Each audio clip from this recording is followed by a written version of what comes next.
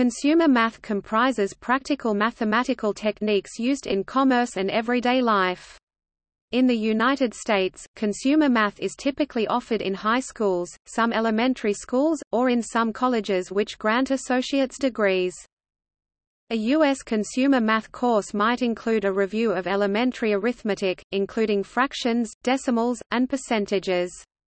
Elementary algebra is often included as well, in the context of solving practical business problems.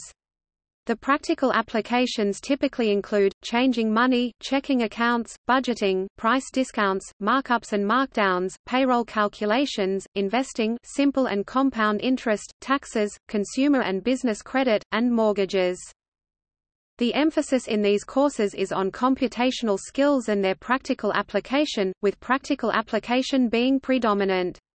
For instance, while computational formulas are covered in the material on interest and mortgages, the use of prepared tables based on those formulas is also presented and emphasized. Some consumer math courses are designed to simulate a real-life environment. At consumermath.org, high school students are able to purchase their grades instead of working for points. Students earn money by completing assignments, and paying their bills. Students must learn to stay out of debt as they buy cars, pay for insurance, and learn about credit cards. Success is determined by the student successfully staying out of debt during the course.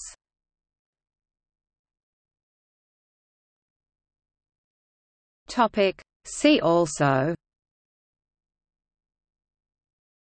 Business mathematics Financial literacy